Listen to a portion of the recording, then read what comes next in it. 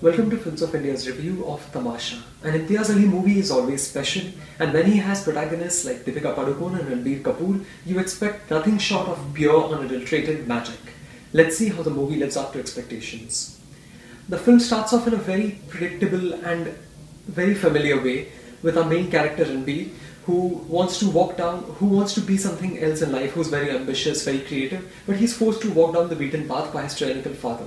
He's very suppressed, very subdued, and in such a situation, he ends up meeting Deepika Padukone, who's this lively, vivacious character.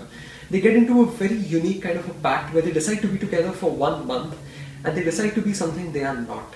They put on this facade and they fall in love immensely with each other. However, a twist arrives in the form of a hard-hitting dose of reality, and that's where the story of Tamasha really begins.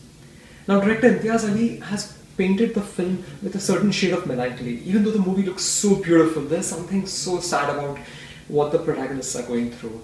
It is a beautiful, beautiful, and a very lovely script, if slightly in overindulgent, because at times Imtiaz Ali lingers on with a lot of moments.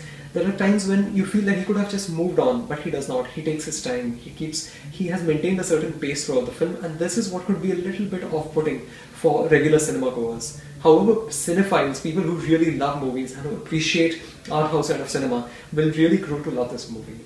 Ranbir Kapoor looks perfect for the main character. There's this inner sadness in him that permeates onto the screen, and it works very, very well and compare that to Deepika Padukone's liveliness and positivity, and you have something very, very special.